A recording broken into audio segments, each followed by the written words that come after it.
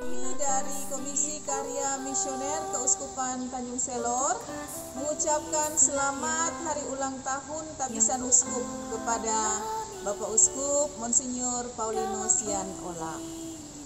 Teriring doa dan tulus dari kami, Semoga Bapak Uskup tetap semangat dan sehat selalu dalam mengemban tugas penggembalaan di Uskupan Tanjung Selor kita yang tercinta ini. Kami support selalu ya Monsinyur. Salam misioner.